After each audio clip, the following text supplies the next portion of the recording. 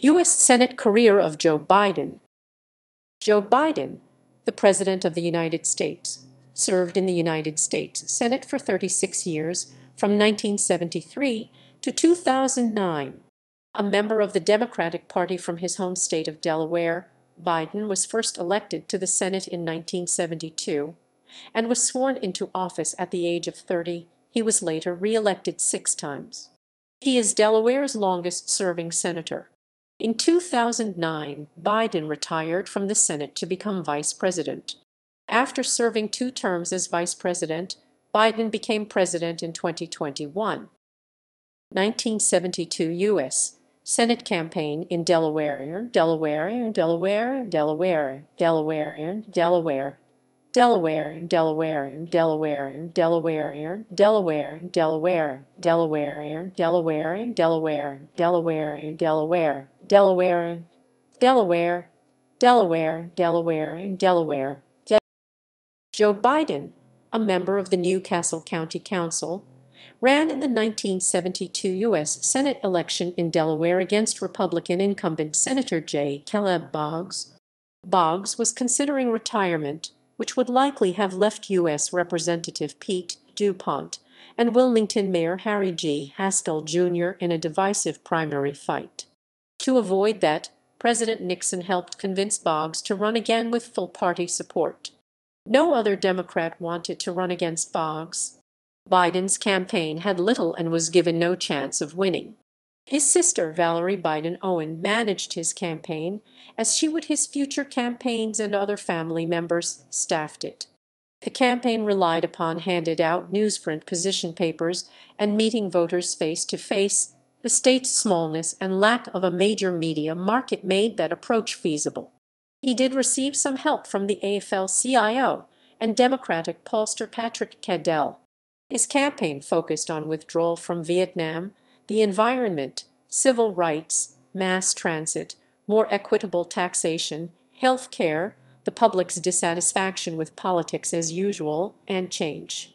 During the summer he trailed by almost 30 percentage points, but his energy level, his attractive young family, and his ability to connect with voters' emotions gave him an advantage over the ready-to-retire Boggs. Biden won the November 7 election by 3,162 votes. Family deaths On December 18, 1972, Biden's wife Neilia and their one-year-old daughter Amy were killed in an automobile accident in Hockessin, Delaware, causing each of his children bone fractures. 93, 98 Biden considered resigning to care for them, but Senate Majority Leader Mike Mansfield persuaded him not to. United States Senate 1973-2009 Recovery and remarriage Biden was sworn into office on January 5, 1973, by Secretary of the Senate Francis R. Valeo in a small chapel at the Delaware Division of the Wilmington Medical Center.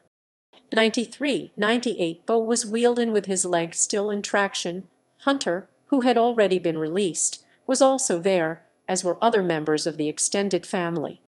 93, 98 witnesses and television cameras were also present, and the event received national attention. 93, 98 At age 30, Biden became the sixth youngest senator in U.S. history, and one of only 18 who took office before turning 31. However, the accident that killed his wife and daughter left him filled with both anger and religious doubt. I liked to walk around seedy neighborhoods at night when I thought there was a better chance of finding a fight. I had not known I was capable of such rage. I felt God had played a horrible trick on me.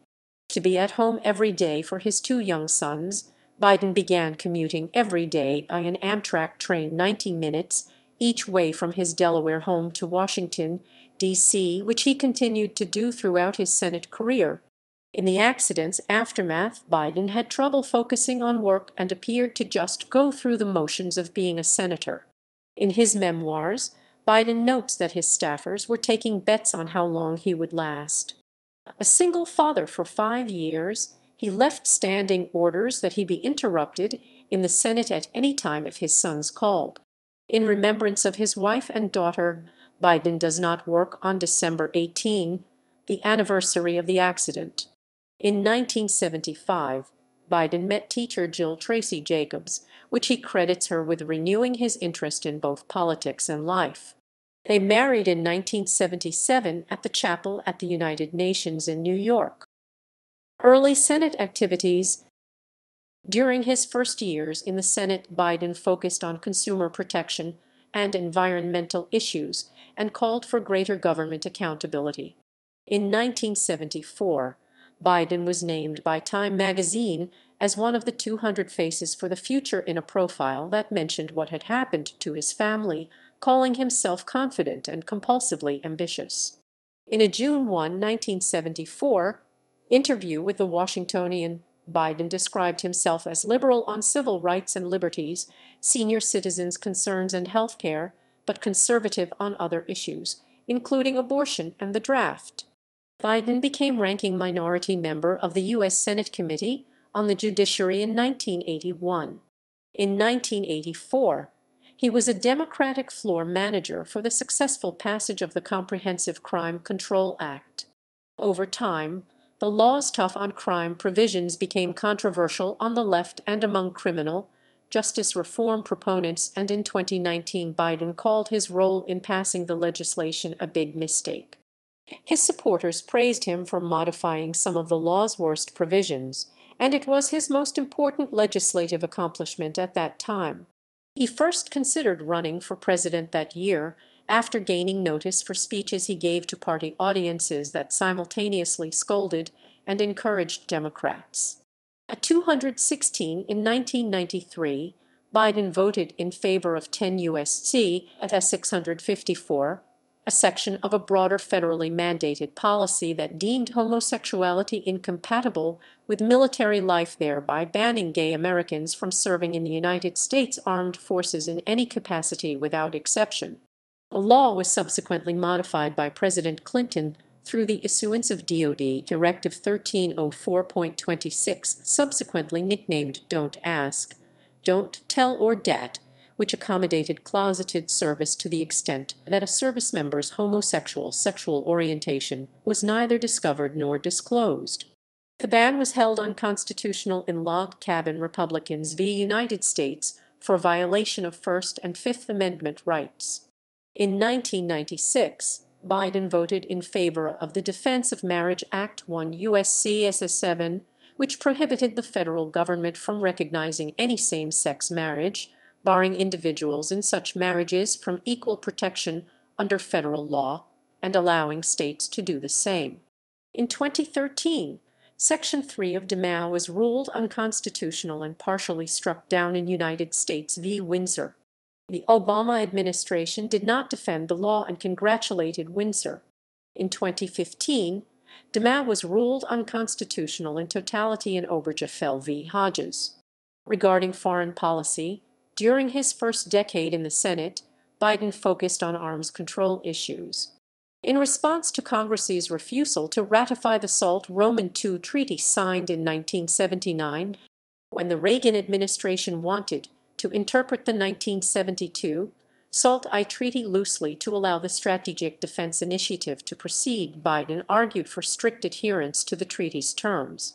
He clashed again with the Reagan administration in 1986 over economic sanctions against South Africa, receiving considerable attention when he excoriated Secretary of State George P. Shultz at a Senate hearing because of the administration's support of that country, which continued to practice apartheid. Opposition to mandatory desegregation busing. In the mid-Minus 1970s, Biden was one of the Senate's leading opponents of mandatory desegregation busing. His white Delaware constituents strongly opposed it, and such opposition nationwide later led his party to mostly abandon school desegregation policies. In his first Senate campaign, Biden expressed support for the Supreme Court's 1971 Swann decision, which supported busing programs to integrate school districts to remedy de jure segregation, but opposed it to remedy de facto segregation, as in Delaware. He said Republicans were using busing as a scare tactic to court Southern white votes and along with Boggs voiced opposition to a House of Representatives constitutional amendment banning busing. In 1974, Biden voted to table an amendment to an omnibus education bill promoted by Edward Gurney, RFL, that contained anti-busing measures and anti-school desegregation clauses. In May, Senator Robert Griffin RMI attempted to revive an amended version of the amendment. Minority Leader Hugh Scott, RPA, and Majority Leader Mike Mansfield, DMT, offered to leave the text of Griffin's amendment intact but at the qualifier that such legislation was not intended to weaken the judiciary. Biden voted for this compromise, angering his local voters. Following this, some Delaware residents met at the Krebs School in Newport to protest integration. Biden spoke to the auditorium and said his position on school busing was evolving, emphasizing that busing in Delaware was in his opinion beyond court restrictions. The crowd was unconvinced and heckled him until he yielded the microphone.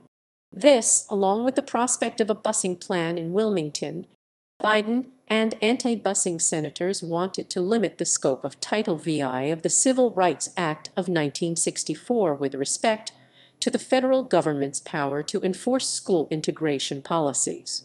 After 1975, Biden took a harsher line on further legislative action to limit busing. That year, Helms proposed an anti-integration amendment to an education bill that would stop the Department of Health, Education, and Welfare HEW from collecting data about students' or teachers' races and thereby prevent it from defunding districts that refused to integrate.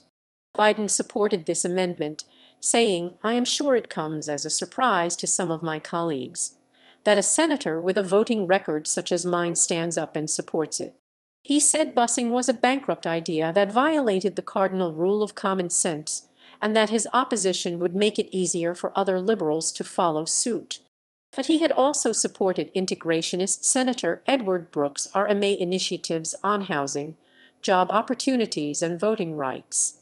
Civil rights lawyer and NAACP Legal Defense Fund Director Jack Greenberg criticized Biden's support for the bill, saying it heaved a brick through the window of school integration with Biden's hand on the brick. Biden supported a measure Senator Robert Byrd DWV sponsored that forbade the use of federal funds to transport students beyond their closest school. This was adopted as part of the Labor HEW Appropriations Act of 1976. In 1977, Biden co-sponsored an amendment with Thomas Eagleton DMO to close loopholes in Biden's amendment. A 1977 status report on school desegregation by the Federal Civil Rights Commission in Washington, D.C., said the enactment of Eagleton-Biden would be an actual violation on the part of the federal government of the Fifth Amendment and Title VI of the Civil Rights Act. President Carter signed the amendment into law in 1978. Biden repeatedly asked for and received the support of Senator James Eastland DMS on anti-busing measures. 1988 presidential campaign Biden ran for the 1988 Democratic presidential nomination formally declaring his candidacy at the Wilmington train station on June 9, 1987. He was attempting to become the youngest president since John F. Kennedy. When the campaign began, he was considered a potentially strong candidate because of his moderate image, his speaking ability on the stump, his appeal to baby boomers, his high-profile position as chair of the Senate Judiciary Committee at the upcoming Robert Bork Supreme Court nomination hearings, and his fundraising appeal. At 83, he raised $1.07 million in the first quarter of 1987, more than any other candidate. At 83, by August 1987, Biden's campaign, whose messaging was confused due to staff rivalries, 108-109 had begun to lag behind those of Michael Dukakis and Dick Gephardt, though he had still raised more funds than any candidate but Dukakis, and was seeing an upturn in Iowa polls. 83 in September 1987, the campaign ran into trouble when he was accused of plagiarizing a speech that had been made earlier that year by British Labour Party leader Neil Kinnock. Kinnock's speech included the lines, Why am I the first Kinnock in a thousand generations to be able to get to university? Then pointing to his wife in the audience, Why is Glenys the first woman in her family in a thousand generations to be able to get to university? Was it because all our predecessors were thick? While Biden's speech included the lines, I started thinking as I was coming over here, why is it that Joe Biden is the first in his family ever to go to a university? Then pointing to his wife in the audience, why is it that my wife, who is sitting out there in the audience, is the first in her family to ever go to college? Is it because our fathers and mothers were not bright? Is it because I'm the first Biden in a thousand generations to get a college and a graduate degree that I was smarter than the rest? Biden had in fact cited Kinnock as the source for the formulation on previous occasions.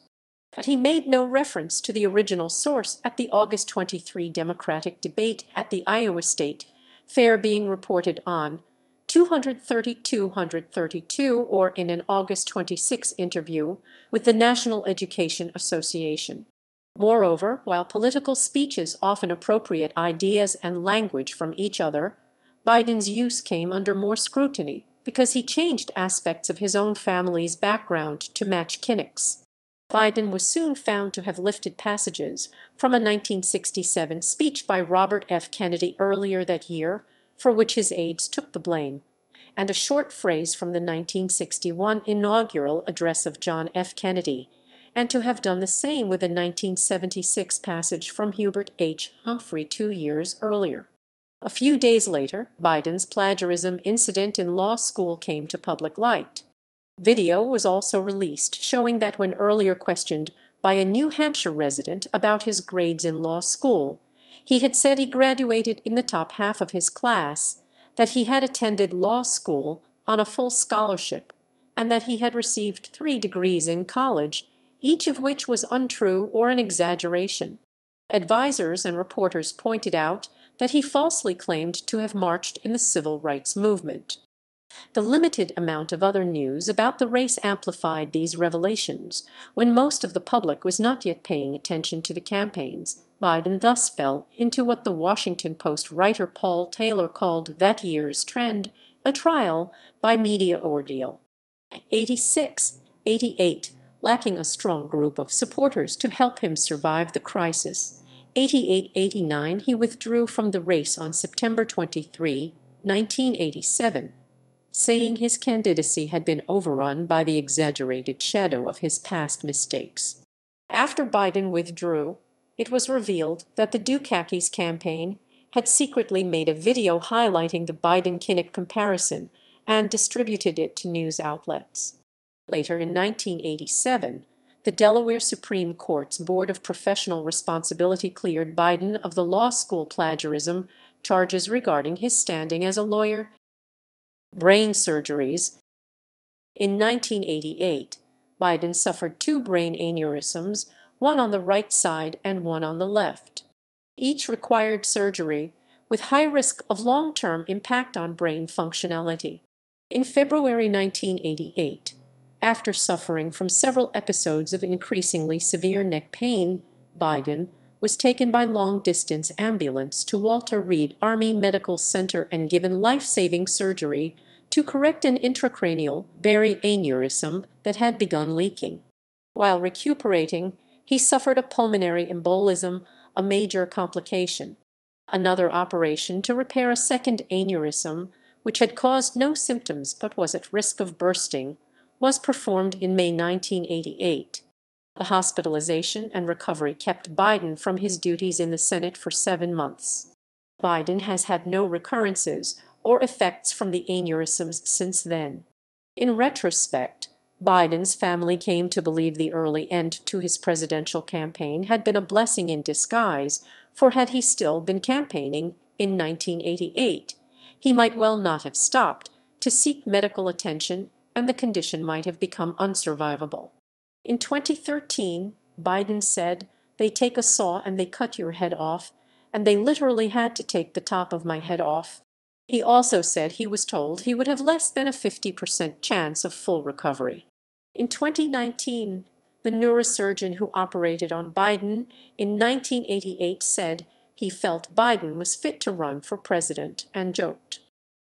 Senate Judiciary Committee Biden was a longtime member of the U.S. Senate Committee on the Judiciary. He chaired it from 1987 to 1995 and served as ranking minority member from 1981 to 1987 and from 1995 to 1997. While chairman, Biden presided over two of the most contentious U.S. Supreme Court confirmation hearings in history, Robert Bork's in 1987 and Clarence Thomas's in 1991.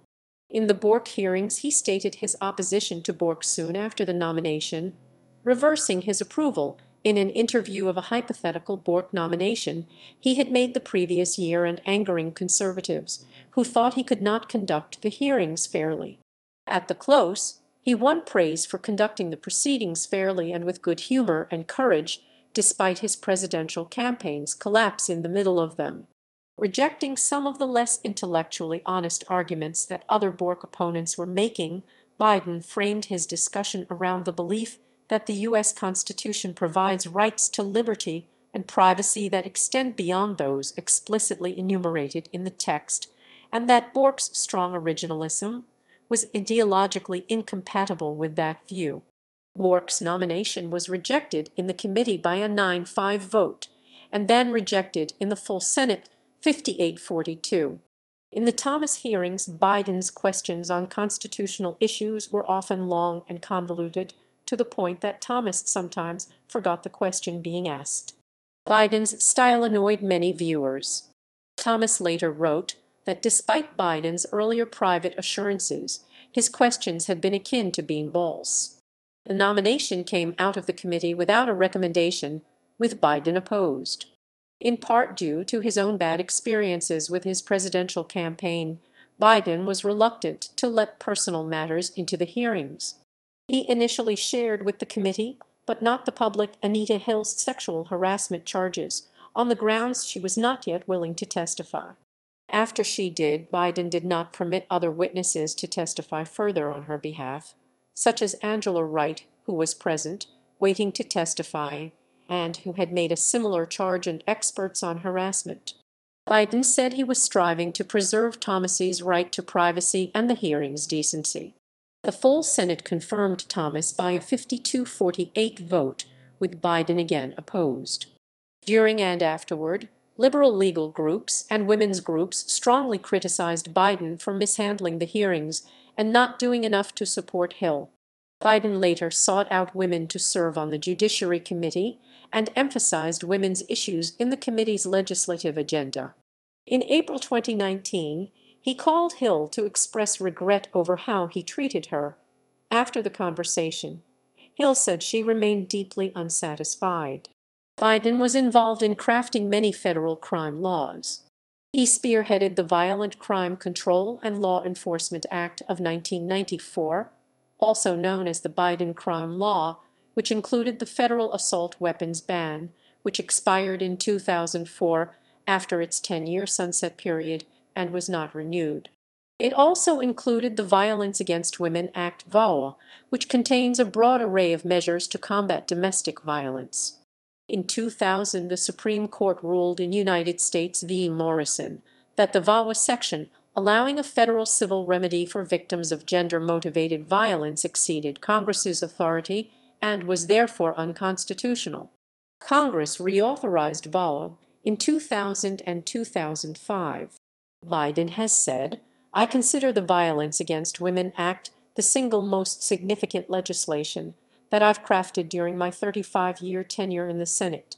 In 2004 and 2005, he enlisted major American technology companies in diagnosing the problems of the Austin Biden was critical of the actions of independent counsel Kenneth Starr during the 1990s Whitewater controversy and Lewinsky scandal investigations, and said, it's going to be a cold day in hell before another independent counsel would be granted the same powers. He voted to acquit on both charges during the impeachment of President Clinton. As chairman of the International Narcotics Control Caucus, Biden wrote the laws that created the U.S. drug czar, who oversees and coordinates national drug control policy. In April 2003, he introduced the Reducing Americans' Vulnerability to Ecstasy Rave Act. He continued to work to stop the spread of date rape drugs such as flunitrazepam and party drugs such as ecstasy and ketamine. In 2004, he worked to pass a bill outlawing steroids like androstenedione, the drug many baseball players used. Biden's Kids 2000 legislation established a public-private partnership to provide computer centers, teachers, internet access, and technical training to young people, particularly low-income and at-risk youth. Senate Foreign Relations Committee Delaware Matters Biden was a familiar figure to his Delaware constituency by virtue of his daily train commute from there and generally sought to attend to state needs. He strongly supported increased Amtrak funding and rail security. He hosted barbecues and an annual Christmas dinner for the Amtrak crews, who sometimes held the last train of the night a few minutes so he could catch it. He earned the nickname Amtrak Joe as a result, and in 2011, Amtrak's Wilmington station was named the Joseph R. Biden Jr. Railroad Station in honor of the 7,000-plus trips he made from there. He was an advocate for Delaware military installations including Dover Air Force Base and Newcastle Air National Guard Base. In 1978, when Biden was seeking re-election to the Senate, Wilmington's federally mandated cross-district busing plan generated much turmoil. Biden's compromise solution between his white constituents and African American leaders was to introduce legislation to outlaw the court's power to enforce certain types of busing. White anti-integrationists seized on a comment Biden made that he would support the use of federal helicopters if Wilmington's schools could not be voluntarily integrated, and Delaware knockhead Littleton P. Mitchell later said Biden adequately represented our community for many years but he quivered at one time on busing. The compromise nearly alienated him from both working-class whites and African Americans, but tensions ended after the end of a teachers' strike that began over pay issues raised by the busing plan. Beginning in 1991, Biden served as an adjunct professor at the Widener University School of Law, Delaware's only law school, teaching a seminar on constitutional law. The seminar was one of Widener's most popular, often with a waiting list for enrollment. Biden typically co-taught the course with another professor, taking on at least half the course minutes and sometimes flying back from overseas to make one of the classes. During the 2000s Biden sponsored bankruptcy legislation that was sought by MBNA, one of Delaware's largest companies, and other credit card issuers. He allowed an amendment to the bill to increase the homestead exemption for homeowners declaring bankruptcy and fought for an amendment to forbid anti-abortion felons from using bankruptcy to discharge fines. President Clinton vetoed the bill in 2000, but it finally passed in 2005 as the Bankruptcy Abuse Prevention and Consumer Protection Act, with Biden support. A vociferous supporter, Biden was one of only 18 Democratic senators to vote with the Republicans in favor of the legislation, while leading Democrats and consumer rights organizations came out in opposition. Biden held up trade agreements with Russia when that country stopped importing U.S. chickens. The downstate Sussex County region is the nation's top chicken-producing area. In 2007, Biden requested and gained $67 million worth of projects for his constituents through congressional earmarks. Reputation Following his first election in 1972, Biden was reelected to six more Senate terms in 1978, 1984, 1990, 1996, 2002, and 2008, usually getting about 60% of the vote. He did not face strong opposition. Pete DuPont, then governor, chose not to run against him in 1984. Biden spent 28 years as a junior senator due to the two-year seniority of his Republican colleague William Roth. After Tom Carper defeated Roth in 2000, Biden became Delaware's senior senator. He then became the longest-serving senator in Delaware history and, as of 2018, was the 18th longest-serving senator in U.S. history. In May 1999, Biden became the youngest senator to cast 10,000 votes. With a net worth between $59,000 and $366,000 and almost no outside income or investment income, Biden was consistently ranked one of the least wealthy members of the Senate. Biden said he was listed as the second poorest member in Congress. He was not proud of the distinction, but attributed it to having been elected early in his career. He has said he realized early in his senatorial career how vulnerable poorer public officials are to offers of financial contributions in exchange for policy support and pushed campaign finance reform measures during his first term. The political writer Howard Fineman has said Biden is not an academic, he's not a theoretical thinker, he's a great street pol. He comes from a long line of working people in Scranton auto salesmen, car dealers, people who know how to make a sale. He has that great Irish gift. Political columnist David S. Broder has viewed Biden as having grown since he came to Washington and since his failed 1988 presidential bid. He responds to real people that's been consistent throughout. And his ability to understand himself and deal with other politicians has gotten much, much better. Traub concludes that Biden is the kind of fundamentally happy person who can be as generous toward others as he is to himself. Gaffes During his years as a senator, Biden acquired a reputation for loquaciousness and putting his foot in his mouth. He has been a strong speaker and debater and a frequent and effective guest on Sunday morning talk shows. In public appearances, he is known to deviate from prepared remarks. The New York Times wrote that Biden's weak filters make him capable of blurting out pretty much anything. 2008 presidential campaign. Biden thought about running for president again ever since his failed 1988 bid. He declared his candidacy for president on January 31, 2007, after having discussed running for months. Biden made a formal announcement to Tim Russert on Meet the Press saying he would be the best Biden I can be. In January 2006, Delaware newspaper columnist Harry F. Themal wrote that Biden occupies the sensible center of the Democratic Party. Themal concluded that that was the position Biden desired, and that in a campaign he plans to stress the dangers to the security of the average American, not just from the terrorist threat, but from the lack of health assistance, crime, and energy dependence on unstable parts of the world. During his campaign, Biden focused on the war in Iraq. He touted his record in the Senate as the head of major congressional committees and his experience in foreign policy. Despite speculation to the contrary, Biden rejected the notion of becoming Secretary of State, focusing on only the presidency. At a 2007 campaign event, Biden said, I know a lot of my opponents out there say I'd be a great Secretary of State. Seriously, every one of them. Do you watch any of the debates? Joe's right, Joe's right, Joe's right. Other candidates' comments that Joe is right in the Democratic debates were converted into a Biden campaign.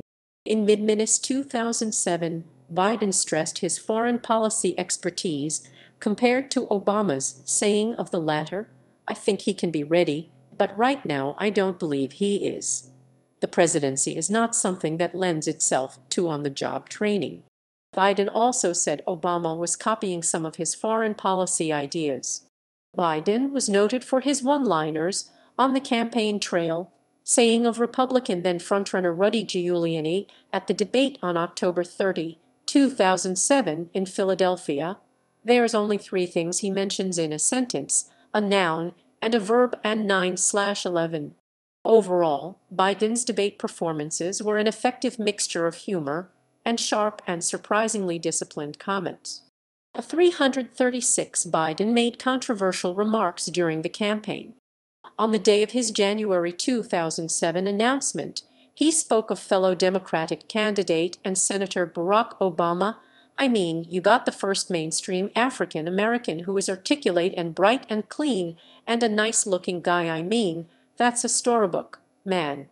This comment undermined his campaign as soon as it began and significantly damaged his fund-raising capabilities. 336 It later took second place on Time magazine's list of top 10 campaign gaffes for 2007. Biden had also been criticized in July 2006 for a remark he made about his support among Indian Americans, I've had a great relationship. Biden later said the remark was not intended to be derogatory. In an unusual move, Biden shared campaign planes with one of his rivals for the nomination, Senator Chris Dodd of Connecticut. Dodd and Biden were friends and seeking to save funds during somewhat long-shot efforts at the nomination. Overall, Biden had difficulty raising funds, struggled to draw people to his rallies, and failed to gain traction against the high-profile candidacies of Obama and Senator Hillary Clinton. He never rose above single digits in national polls of the Democratic candidates. In the first contest on January 3, 2008, Biden placed fifth in the Iowa caucuses, garnering slightly less than 1% of the state delegates. He withdrew from the race that evening, saying, There is nothing sad about tonight. I feel no regret, despite its lack of success, Biden's stature in the political world rose as the result of his 2008 campaign. A 336 in particular, it changed the relationship between Biden and Obama. Although the two had served together on the Senate Foreign Relations Committee, they had not been close, with Biden resenting Obama's quick rise to political stardom and Obama viewing Biden as garrulous and patronizing. 28 337 338 Having gotten to know each other during 2007, Obama appreciated Biden's campaigning style and appealed to working-class voters, and Biden said he became convinced Obama was the real deal. 28 337 338